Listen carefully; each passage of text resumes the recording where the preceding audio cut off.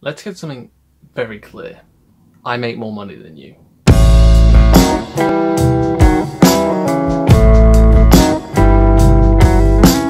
I'm just kidding. Just kidding. I'm not kidding. Irrelevant. Look, if you want to make waves like me, you gotta make sacrifices, okay? Big, big sacrifices. I mean, it all goes back to family. My family from day one supported me, cared for me, nurtured my career, and then I cut them off.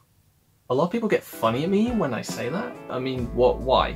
Why? They're, they're, have you seen their numbers? Why would I stay in contact with someone who is irrelevant? Only an irrelevant person would have a problem with that. I bet an irrelevant person could not even spell irrelevant. It's I R A V.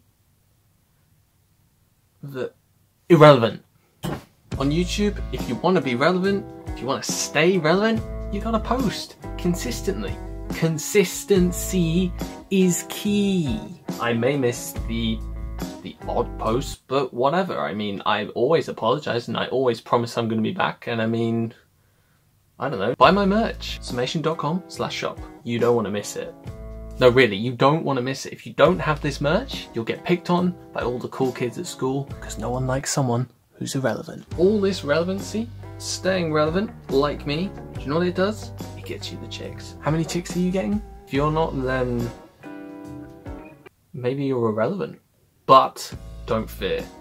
It's all going to be okay. If you want to be relevant like me, there's an easy way. Sign up for my course. It's entirely, completely, and utterly cost-free for the first 10 minutes. If you're relevant right now, I really don't know what else you can do.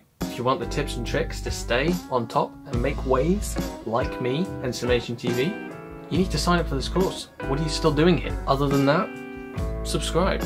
Subscribe to this channel if you want an example of how you can stay relevant. Yes, Andy, I'm not irrelevant. So the views are down. I mean, YouTube's getting pretty irrelevant these days anyway. Maybe we should try TikTok.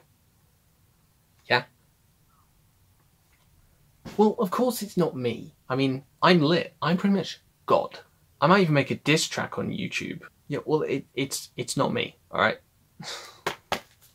Managers, irrelevant.